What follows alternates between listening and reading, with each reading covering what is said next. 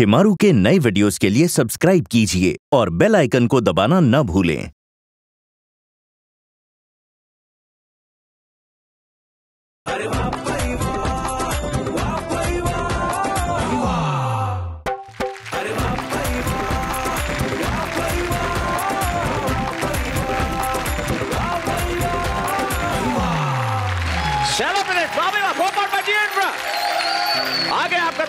और अब आ ही गया है तो बस चिंता है, भूल जाइए, परेशानियाँ भूल जाइए, मस्त हो जाइए। क्योंकि ज़िंदगी में मस्त होना बहुत ज़रूरी है। गलत फहमी कभी मत पालिए। जितनी सुंदर लड़कियाँ बैठी हैं, मैं आपको कह रहा हूँ गलत फहमी मत पालिए। जो लड़के हैं ना, तुम्हें बहुत बेवकूफ़ बनाएँगे। You are very beautiful you so pretty तुम बहुत सुंदर दिखती हो। तुम इनकी बातों में मत आना, बस अपने आधार कार्ड की फ़ोटो पे भरोसा रखना।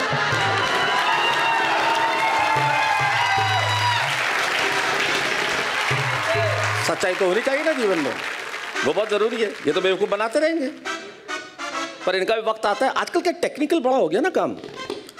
सर, चीज़ टेक्नोलॉजी से हो रही है तो एक आजकल वो मेरे को नया पता चला। पहले फ़ोन में पासवर्ड वो न्यूमेरिकल होते थे, फिर वो अंगूठे वाले होने लगे। अब वॉइस पासवर्ड आने लग गए क्या आवाज़ से खुलते हैं? तो वॉइस पासवर्ड कुछ भी आप सेट कर लीजिए फ़ोन खुल जा। I love you all types तो वॉइस पासवर्ड कोई सेट कर रहा था लड़का? अब जिस वक्त सेट कर रहा था, बोलने लगा मैं पीछे कुत्ता भोंक लिया।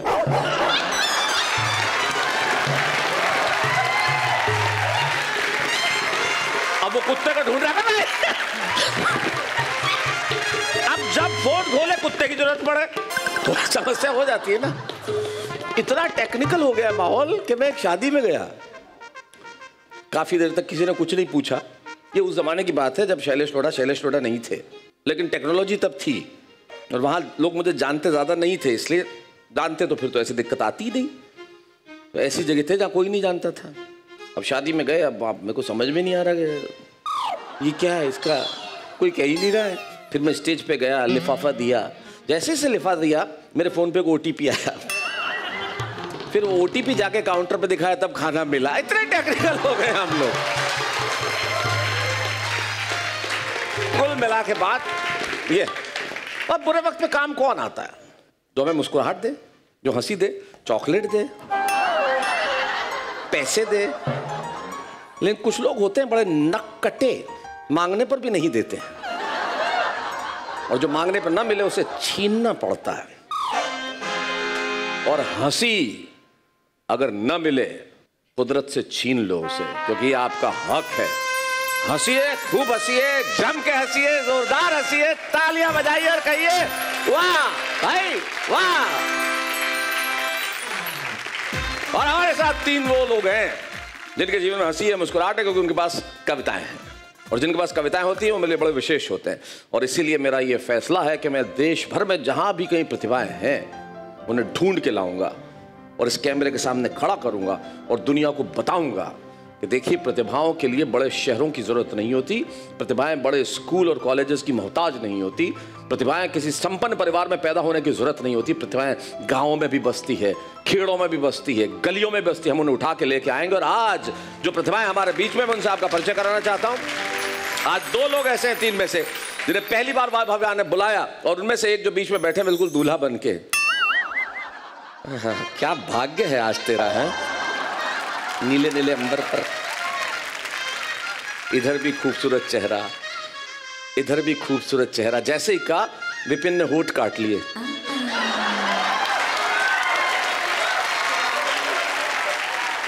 मेरा काम ही ऑब्जर्वेशन है विपिन।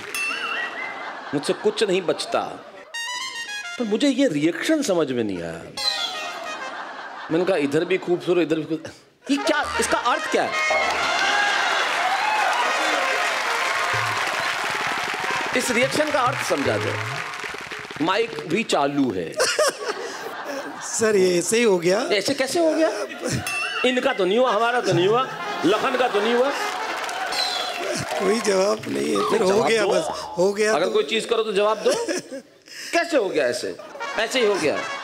ऐसे ही। पत्नी घर पे देखेगी ना ये एपिसोड तब बताएगी कि ऐसे कैसे हो गया। है ना? अगली बार जैसे कहोगे वाह भाई बाज़ार अच्छा वोट चबाने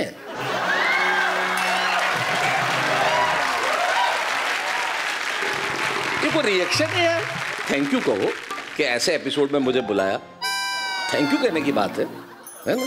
बोलो माइक पे thank you sir thank you sir हाँ ये होना चाहिए ना। थैंक यू भाई इधर भी खूबसूरत चेहरा है इधर भी खूबसूरत चेहरा है। काश ये दोनों कह पाती के बीच में भी है।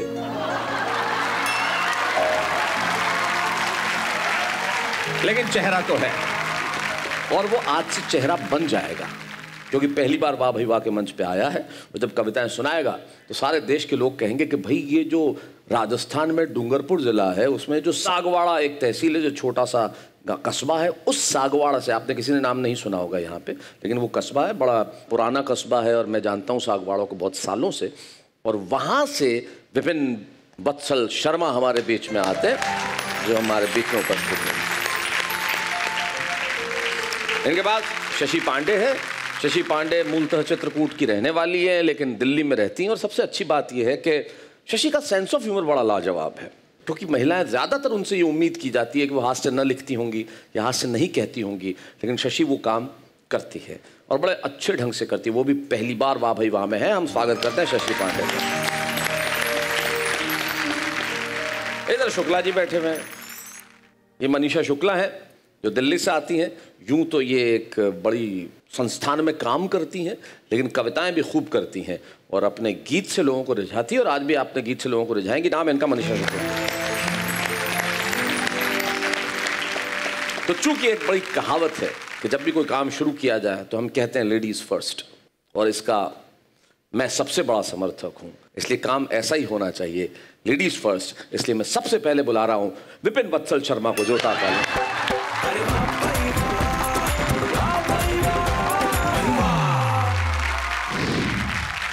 सर्वप्रथम मैं घर घर के हीरो शैलेश जी लोढ़ा को मैं बहुत बहुत धन्यवाद दूँगा। कि उन्होंने यहाँ पर हमें मौका दिया। शेमारू टीवी का भी मैं बहुत बहुत धन्यवाद अर्पित करना चाहता हूँ। मैं हास्य के कुछ मुक्तक आपके सामने प्रस्तुत करूँगा। जी। घूंघट उठा के दीवाना जिला बना दिया। घूंघट उठा के दीवाना जिला बना दिया। घुंगरू बजा के गाँव जो शिला बना दिया। होठों पे लिपस्टिक लगा के चूम के तूने। होठों पे लिपस्टिक लगा के चूम के तूने। ये ताजमहल सारा लाल किला बना दिया। हाथों में उसे फ़िल्म की टिकट दे गई। हाथों में उसे फ़िल्म की टिकट दे गई। वो प्यार मोहब्बत की नई रीत दे गई। वो प्यार मोहब्बत की नई रीत दे गई। देखी जो पूरी फ़िल्म बिना छेड़छाड़ के। देखी जो पूरी फ़िल्म बिना छेड़छाड़ के, वो लड़की जाते वक्त शिला जीत दे गई। वो लड़की जाते वक्त शिला जीत दे गई। अब समझ में आया ये मुक्तक सुनने के बाद कि तूने वोट क्यों काटे थे? वाह। हिंदी साहित्य ऋणी रहेगा तुम्हारा विपिन वत्सल शर्मा। वाह। हाथों की उंगलियों पे मुझे वो नचा रही। हाथों की उंगलियों पे मुझे वो नचा रही। खाना वो दिन में सात बार का पचा रही। खाना वो दिन में सात बार का पचा रही। माँ ने उसे वो लाड प्यार के। माने मेरी दिया उसे वो लाड प्यार के।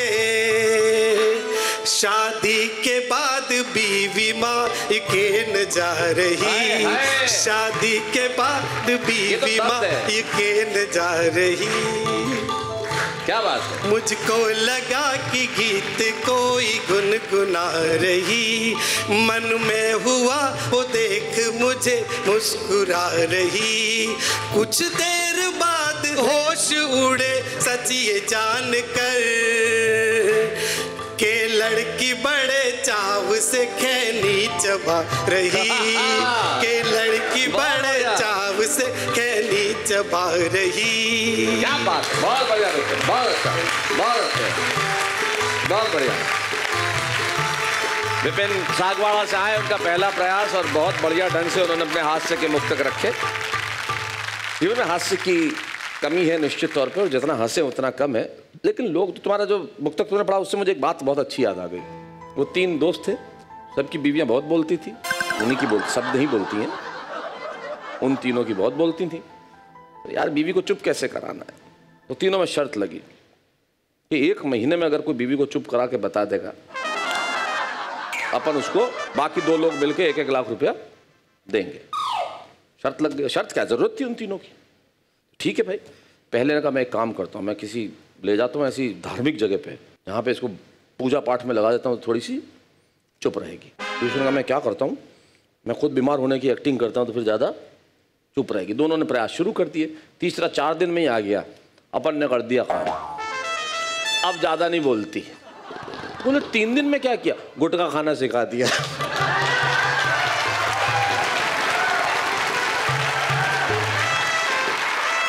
अब क्या बोले? इतने बढ़िया प्रक्रिया देखो ये अहिंसक तरीका है जीवन में। और ये अहिंसक तरीके अपनाए जाने चाहिए। बातचीत हो तो क्या दिक्कत हाँ, पति पत्नी में झगड़ा हो गया आपस में। अब झगड़ा हो गया तो पत्नी बड़ी समझदारी से बोली, देखो, हम ऐसे कैसे लड़ते रहेंगे? आखिर हमें तो साथ ही रहना है, थोड़ा तुम झुक जाओ। थोड़ा मैं झुक जाती हूँ। बोला, ठीक है तो पहले तुम झुको, उसे झुका। बोले, अब सॉरी बोलो माफ़ कर दूँगी।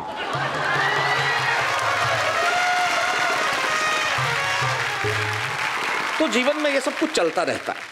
लेकिन जीवन में प्रेम भी तो आवश्यक है। लेकिन प्रेम करने वाला पति कुछ कुछ अजीब मिल जाए। तो क्या होता है? ये शशि पांडे हमें बताने वाली है। अब शशि पांडे क्या बताने वाली है? तो शशि पांडे ही बताएँगे। और जब शशि पांडे खुद यहाँ बैठी है तो मैं क्यों कहूँ कि मैं क्या बताऊँ कि शशि पांडे क्या बताने वाली है? तो जरा शशि पांडे जी आइए और आप खुद ही बताइए कि आप क्या बताने वाले हैं।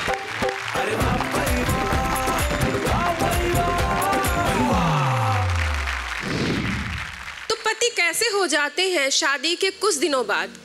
जो पहले होते हैं कि बेबी तुम जो चाहोगी वैसा ही होगा। बेबी। यस जानू बेबी।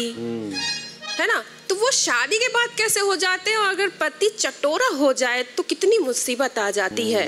वो मैं आपके सामने ज़्यादा मुसीबत तब आती है जब दोनों साथ में पानी पूरी के ठेले पे जाते हैं।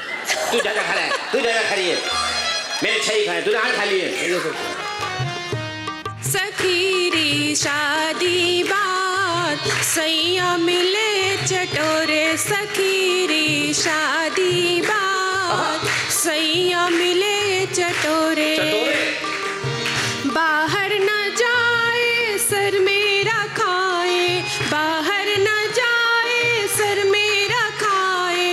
हर दो घंटे में चाय बनवाए। हर दो घंटे में चाय बनवाए। कभी वो डोसा बनवाए। बोले कभी भटूरे सखीरी बात सैया भय चटोर सखीरी शादी बाल। कामना काज है ढाई मन अनाज है। ऑफ़िस ना काम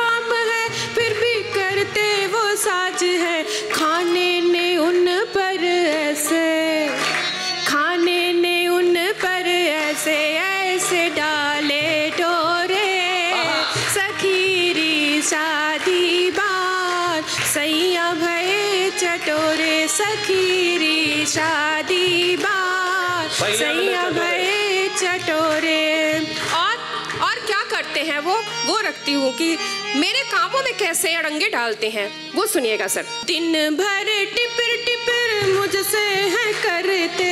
दिन भर टिपिर टिपिर दिन भर टिपिर टिपिर मुझसे है करते। मैं नहीं काम करती मुझसे है कहते। मैं नहीं काम करती मुझसे है कहते।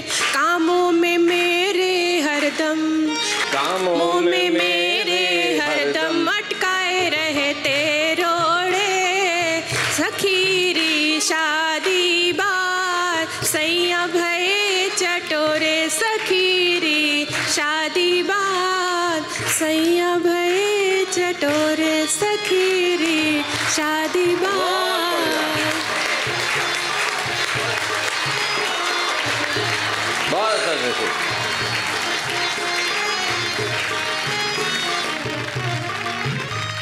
शादी बाद सैया मिले चटोरे।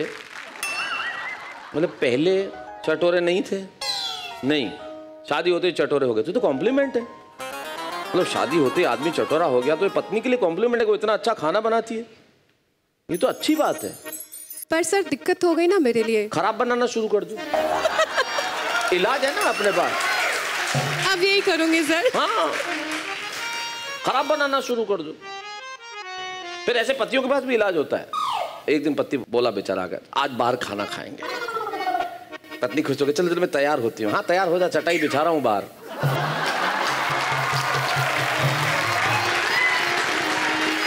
बाहर खाना खाना है ना, ये थोड़ी का कहाँ? घर के बाहर खाएँगे बैठ के? तरीके अपने पास सारे अच्छे हैं। हमने जीवन तरीकों को ढूँढने में निकाल दिया। घर में खाना जिनका खराब बनता है, वो दूसरा इंतज़ाम कर लेते हैं। दुनिया में ऐसे बहुत सारे लोग हैं जिन्हें भोजन मिलता नहीं है। जिन्हें अन्न नहीं मिलता, उनके बारे में जरा सोचें। जब आप ऐसे चित्र देखते हैं कि लोग कीचड़ में गिरे हुए चावल के दाने बीन के खा रहे हों, जब लोग भीख मांग के खाना खा रहे हो, जब चूल्हे जलते हों पर उनमें तवा नहीं होता हो, जब तवा होता हो लेकिन उस पर डालने के लिए रोटी नहीं होती हो, तब जब माएँ आटा घोल के पी जाती हो क्योंकि खाने के लिए घर में कोई सब्ज़ी नहीं हो, उस वक्त हमें सोचना चाहिए कि उन लोगों को भोजन प्रदान करें जिन्हें भोजन मिलता नहीं है।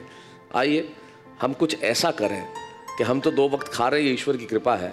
किसी एक भूखे पेट को भी खिला दें, ताकि उसके चेहरे पे भी मुस्कुराहट हो, उसके चेहरे पे भी हँसी हो, उसकी ज़िंदगी में भी खूबसूरती हो। उसके पहले मैं बुला रहा हूँ एक ऐसी नवयुवती को, जिसका गीत आप सुनेंगे तो आप कहेंगे कि भाई वाह, जैसे मोहब्बत ना भी हो रही होगी, वो सोचेगा कि भाई गीत सुन के ज़रा मोहब्बत कर ली जाए तो क्या दिक्कत है। नाम है उनका मनीषा शुक्ला। आप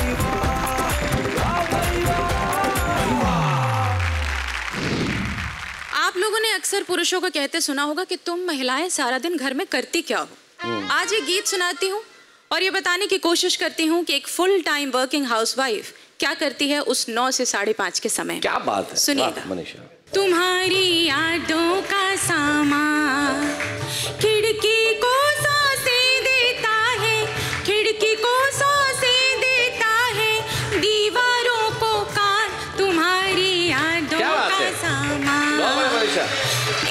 दृश्य रख रही हूँ, देखेगा। हर जाई अखबार की जिससे घंटों बतियाते हो। नास पिटी शतरंज नहीं तुम जिससे उकताते हो। बैरी चश्मा पल भर को भी नैन न छोड़े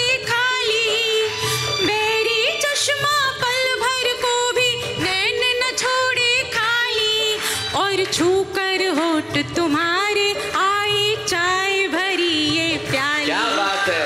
और तुम्हारी टेबल पर हाय और तुम्हारी टेबल पर मुस्काता मीठा पान यादों का बहुत बढ़िया और एक दृश्य देखेगा।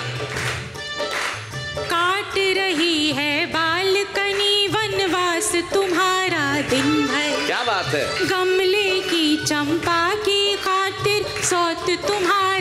तुम्हारा दफ्तर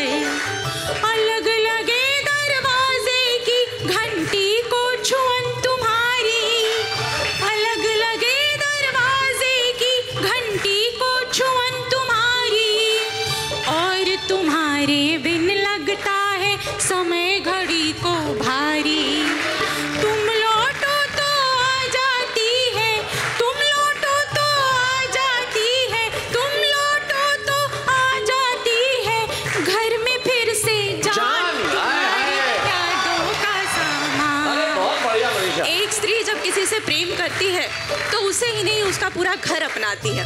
सुनिएगा। अध खुलती खिड़की से लिपटे पर्दे की उलझन में, तुम सासों के चंदन में, तुम नैनों के दर्पण में, तुम तकिए की खुशबू में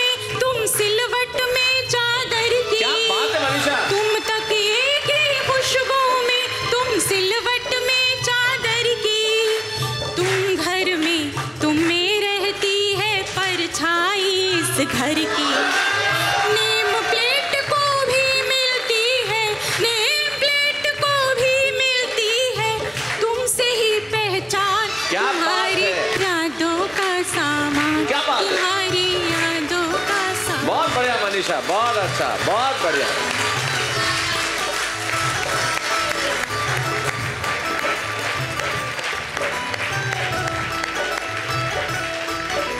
वाह मनीषा।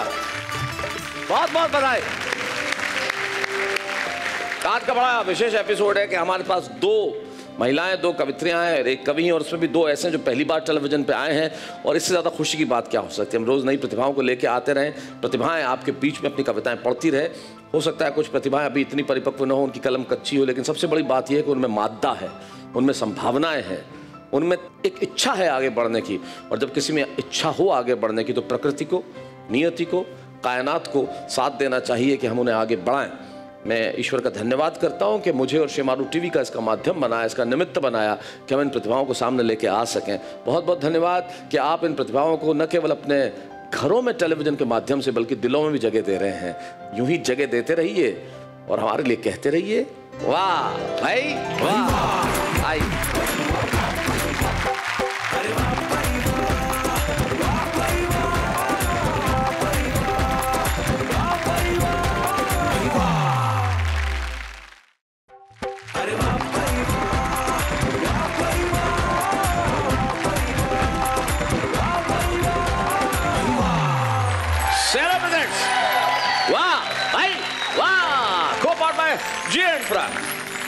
आप कमाल के कमाल के हैं, क्योंकि मैं कह रहा हूँ।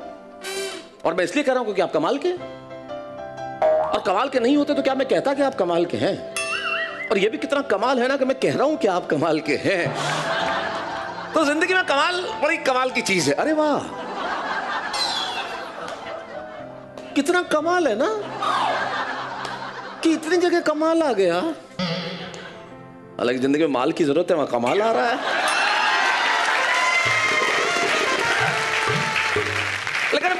एक ही शब्द अलग अलग जगह। सीखिए भी कुछ। जैसे एक किसी को पूछा टीचर ने यमक अलंकार हिंदी में क्या होता है? बोले, यमक अलंकार वो अलंकार होता है, तुम भी सीखो। जब एक ही शब्द अलग अलग जगह आए, लेकिन उसका अर्थ अलग अलग हो। शब्द एक ही हो जैसे माया गोविंद जी का एक बड़ा प्रसिद्ध गीत था, उसमें था कि साँझ थी वो हाथ, में था साँझ का दिया। और डाकिए ने द्वार तभी खटखटा दिया। और मेरा ही लिखा पत्र हाथ में दिया कि डाकिया तो चल दिया, बुझा दिया दिया।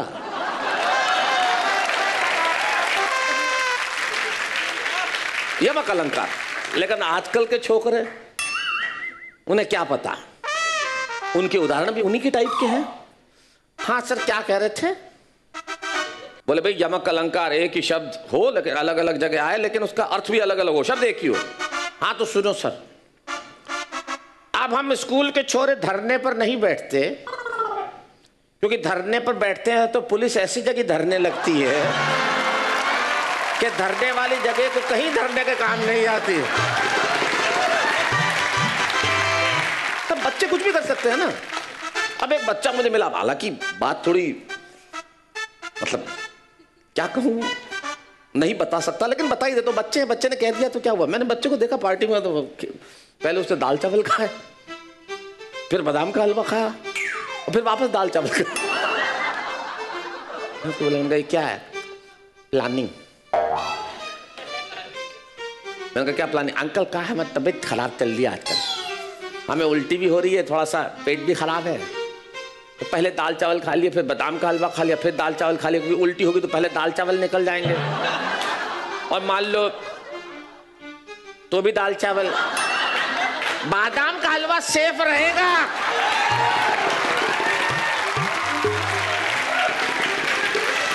यानी कुछ भी हो सकता है। लेकिन कोई करने वाला चाहिए। आज इस देश में इतनी प्रतिभाएँ हैं, जिन्हें आगे लाने के लिए किसी को तो किसी को तो बीड़ा उठाना था। लेकिन नहीं हुआ। हमने सोचा हमें यह करना चाहिए। और हमने किया और हम कर रहे हैं। हम ऐसी प्रतिभाओं को गाँवों से ढूंढ के लेके आ रहे हैं, शहर के तमाम हिस्सों से। दुनिया भर के जितने क्षेत्र हैं इस हिंदुस्तान में, वहाँ से हम उन्हें ढूंढ ढूंढ के लेके आ रहे हैं ताकि वो प्रतिभाएँ आपके समक्ष आए। अपनी कविताएँ प्रस्तुत करें आप जाने कि ये देश कितनी बड़ी खान है जहाँ हीरे हीरे छुपे हुए हैं। उनमें से तीन लोग हमारे साथ हैं, जिसमें से एक को कुछ दिनों पहले वाह ने ढूंढा था। सबसे पहले हम उसे यहाँ इस कैमरे के सामने लेके आए थे, उसका नाम है रोहित झन्नाट, जो इंदौर से हमारे बीच में आता है। और बड़ौरा गाँव है तुम्हारा? बड़ौरा गाँव वो नाव में है जो बहुत छोटा सा गाँव है, हज़ार बारह सौ की आबादी वहाँ से आते हैं अनुभव वैज्ञानिक और बक्सर बिहार की पवनी कुमारी, हम तीनों का ज़बरदस्त स्वागत करते हैं। हम सबसे पहले बुलाते हैं अनुभव वैज्ञानिक को।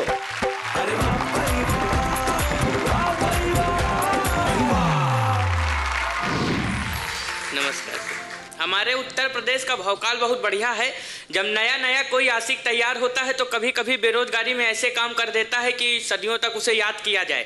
चार पंक्तियाँ सुनना उत्तर प्रदेश के परिप्रेक्ष्य में कि मैं दिल के मामले में बेकरार हो गया इतना किया था प्यार कि बुखार हो गया जब पूरी तरह से ही बेरोजगार हो गया महबूबा के गहने चुरा फरार हो गया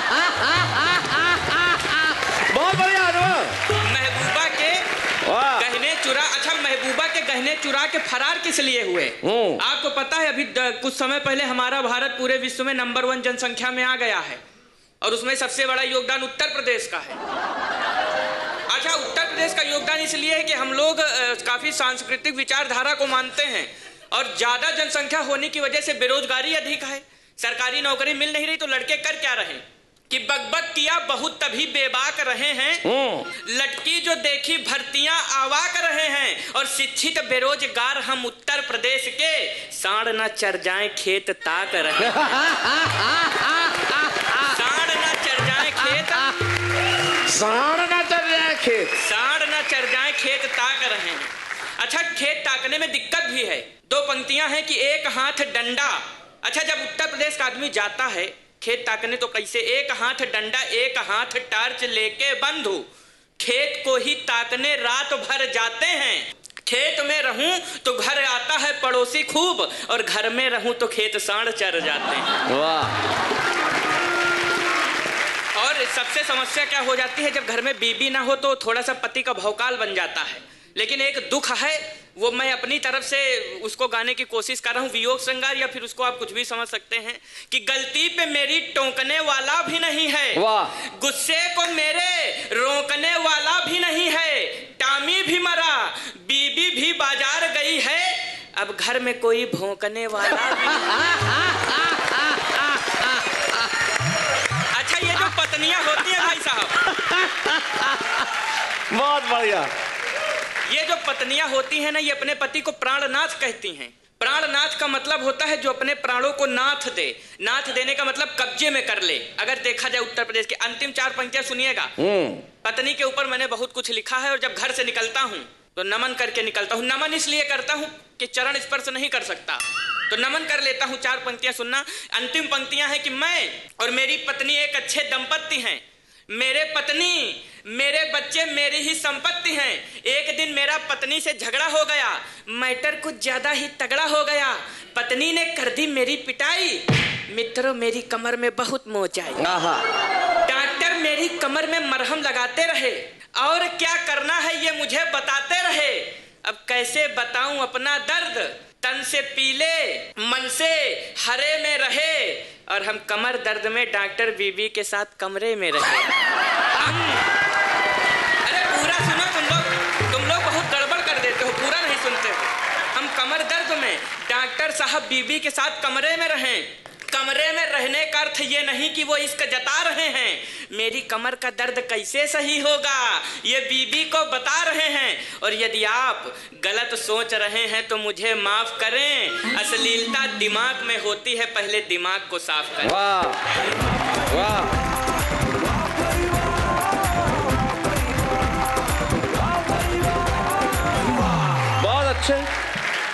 तुमने ठीक कहा अश्लीलता दिमाग में होती है दिमाग को साफ़ करें। निश्चित तौर पर अश्लीलता दिमाग में ही होती है। दृष्टि अगर खराब हो तो वो जहन में ही सब कुछ होता है। पर तुमने एक पंक्ति कही थी कि तुम पत्नी का चरण स्पर्श नहीं कर सकते। क्यों? सर इसलिए चरण स्पर्श नहीं कर सकते सीधा बैकुंठ मिल जाएगा। नहीं ऐसा नहीं है। ये जो तुमने जिस कहा था चरण स्पर्श नहीं कर सकते मैं बहुत सीरियस नोट पे कहना चाहता हूँ। इस दुनिया में पति और पत्नी में पति पत्नी से बड़ा नहीं होता सबसे पहली चीज़। पत्नी उससे कमतर नहीं होती, दूसरी चीज़। वो दोनों बराबर होते हैं। और दुनिया में कहा लिखा है कि सिर्फ़ वही मेरा चरण छुएगी, मैं उसके चरण नहीं छू सकता। चरण उस हर व्यक्ति का छूना चाहिए जो आपको कुछ सिखाता है, जिससे आप कुछ सीखते हैं। और पत्नी हमें बहुत कुछ सिखाती है कि कैसे अपने सपनों को ताक पर रखकर परिवार के सपनों को पूरा करें, ये पत्नी सिखाती है। कैसे अपने दर्द को भूल कर बाकी का दर्द कम करे, ये वो घर की पत्नी सिखाती, घर की औरत सिखाती है। कैसे? खुद न खाएगी, पहले आपको खिलाती है, ये पत्नी सिखाती है। अगर घर में सब्ज़ी कम हो तो इतना कह देती है कि मुझे भूख नहीं है, ये पत्नी सिखाती है। इसलिए अगर हमें इतना कुछ सिखाती है तो उसके चरण स्पर्श करने में कोई हर्ज नहीं होना चाहिए। और ये मैं बात बहुत ईमानदारी से कह रहा हूँ। मैं बहुत ईमानदारी से कह रहा हूँ। मैंने मेरी पत्नी के चरण स्पर्श कई बार किए हैं। एक बार नहीं, अगर कुछ ऐसी अच्छी चीज़ सिखाए तो क्या दिक्कत है इसमें? जो सिखाए वो गुरु, और जो भी सिखाए वो ठीक है। इसलिए अब के जाओ तो ये मानसिकता ताक पे रख देना कि नहीं कर सकते। तुम दोनों बराबर के हो, और बराबरी ज़िंदगी निकालो। न तुम बड़े हो, न वो छोटी है। बस इसे याद रखो और आइए बढ़ते हैं आगे। बहुत बढ़िया सुनाया तुमने। अब तुम वहाँ पे स्टार हो जाओगे अपने गाँव में। हो ही गए हो, बस ये एपिसोड आते ही। लोग कहेंगे, भाई, अनुभव अज्ञानी ने तो कमाल ही कर दिया। अब हम उस लड़के को बुला रहे हैं जिसे हमने कुछ दिनों पहले खोजा था इंदौर से। उसके पास एक अलग अलग भाषा का आनंद है। जो मालवा की जो हमारी भाषा होती है, उसका जो अंदाज होता है, वो बहुत अलग होता है। लेकिन वो इतना अलग होता है कि वो एक सामान्य से वाक्य भी बोले तो मज़ा देता है। ऐसा ही एक लड़का हमारे बीच में रोहित झन्ना जोरदार टैलेंट रहता है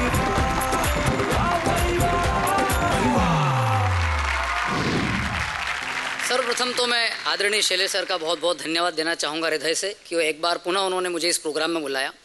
यकीन मानिए, हिंदी कविता के इस बड़े मंच पर जिन भी युवाओं को सर ने अवसर प्रदान किए, जिन भी शब्द साधकों को यहाँ बुलाया है, उनके जीवन में बहुत अद्भुत परिवर्तन हुए हैं। उनकी जीवन ज़िंदगी बदल चुकी है कि एक अनोखा प्रश्न कई जवाबों को जन्म देता है। एक अनोखा प्रश्न कई जवाबों को जन्म देता है, मार्ग किसी सरिता का, कई किनारों को जन्म देता है। और आज वक्त स्वयं इस बात की गवाही दे रहा है। और आज वक्त स्वयं इस बात की गवाही दे रहा है कि ये वो सितारा है जो कई सितारों को जन्म देता है। ये वो सितारा है जो कई सितारों को जन्म देता है।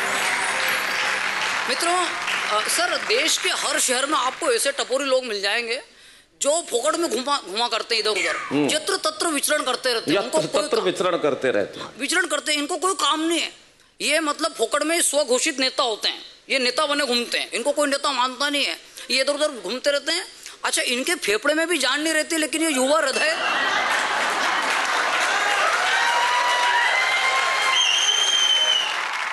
ये मतलब इनके फेफड़े में भी जान नहीं रही लेकिन ये युवा हृदय सम्राट बन के घूमते हैं। युवा हृदय पहलवान पहलवान कुछ काम हो तो ना तुम्हारा भाई नगर निगम में ही है। वायर भैया नगर निगम में कौन से विभाग में हो? अरे विभाग क्या? मुकेश भैया के पट्टे हैं अपन किसके पट्टे मुकेश भैया के पट्टे मुकेश अपन। के पट्टे हैं हाँ। और अच्छा उससे ये पूछ लो कि अच्छा मुकेश भैया कौन से विभाग में? अरे विभाग क्या वो अपने गुरु है और क्या? इनका चित्र भी बड़ा विचित्र होता है और चरित्र भी बड़ा विचित्र होता है। इसलिए इनके चरित्र चित्रण के लिए मैंने एक रचना लिखी है। शीर्षक दिया है टपोरी दादा की आरती। अच्छा। आनंद लीजिएगा। कि जय जय टपोरी दादा। बिया जय टपोरी दादा।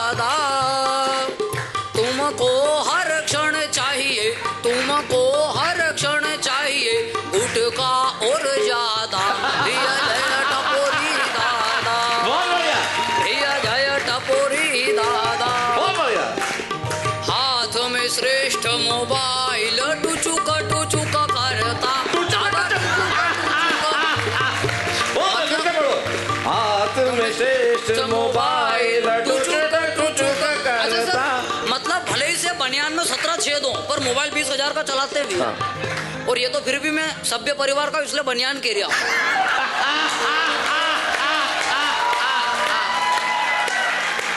चरित्र देखना कि हाथ में श्रेष्ठ मोबाइल टुचक टुचक करता। दादा टुचुक टुचुक करता खूब छेड़ता।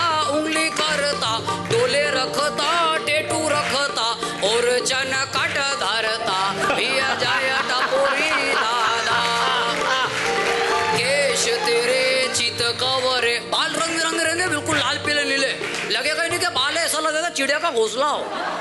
कि बाल तेरे चित कवरे फटफटी पे तू है घूमता। दादा फटफटी पे तू है घूमता।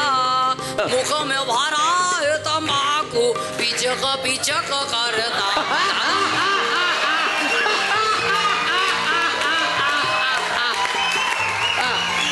मुख में सोहे है तंबाकू पिचक पिचक करता।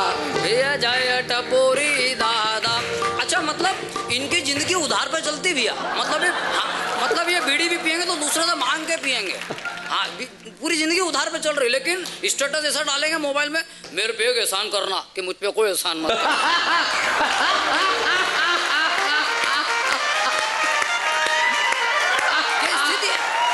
मतलब इनके इनके गाड़ी के पीछे सुल्तान लिखा रहता, सुल्तान। लेकिन रोज बाप के जूते खाते नियम से। आप आनंद लेना कि कमर पे ढीला सा चाटा बड़ा अद्भुत लागे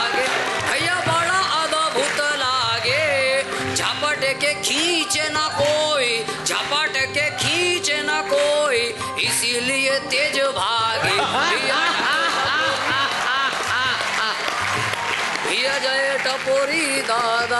अच्छा और हमारे इंदौर का टपोरी कैसा होता है? वो सुना आप। कि सुबह सुबह मुँह नहीं धोवे पोहे पे टूट पड़े।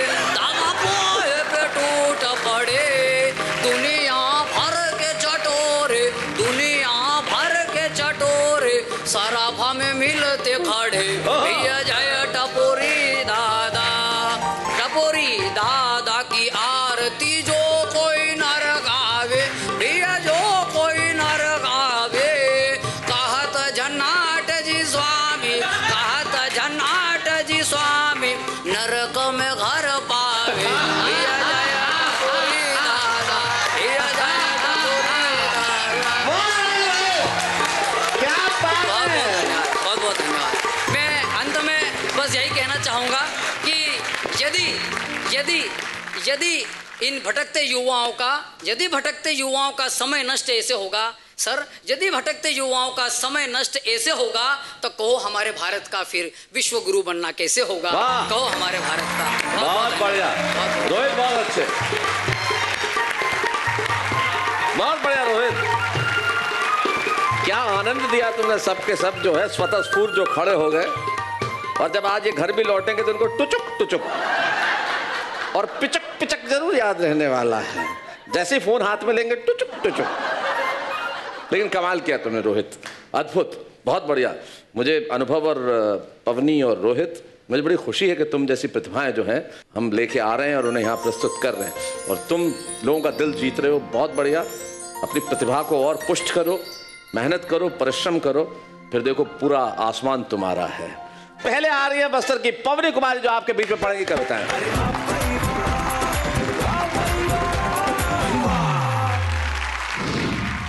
सर्वप्रथम शैलेश सर का बहुत बहुत आभार मुझे दोबारा इस शो में बुलाने के लिए।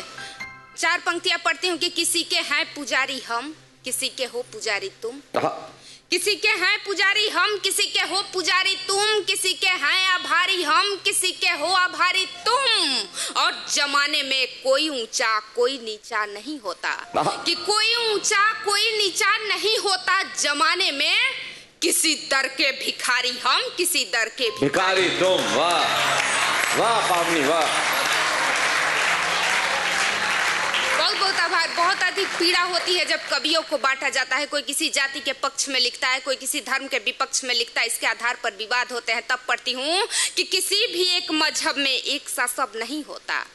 किसी भी एक मज़हब में एक सा सब नहीं होता, किसी सिद्धांत का अपवाद कोई कब नहीं होता।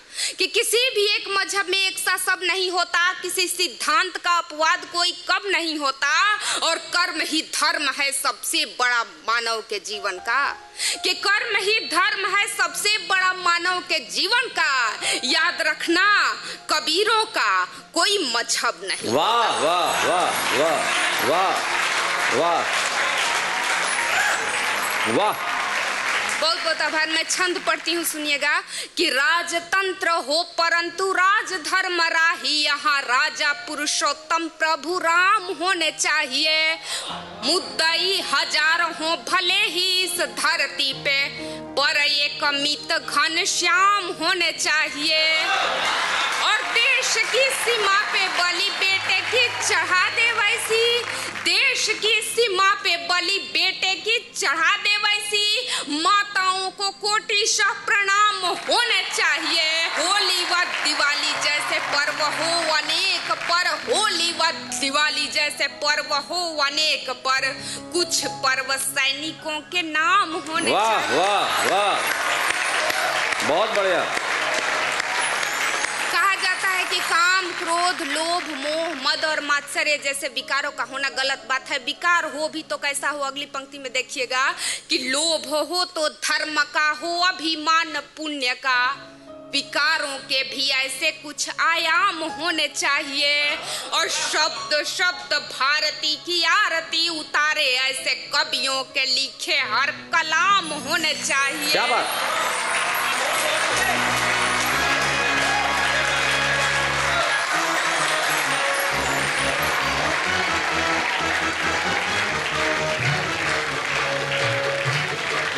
बहुत बढ़िया। पावनी कुमारी, अनुभव अज्ञानी और रोहित झन्नाट। अगर इन तीनों की एवरेज एज में निकालूं इस वक्त, एक 26 का है, एक पावनी तुम्हारी क्या तेईस चौबीस साल की उम्र है? 25 रोहित, अगर एवरेज उम्र निकालूं तो 25 26 निकलती है। औसत आयु।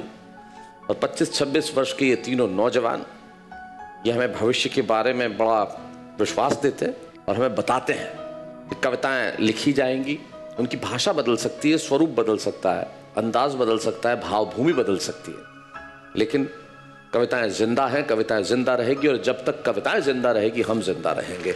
इन कविताओं से बढ़कर कुछ नहीं। वाह, भाई वाह, भाई।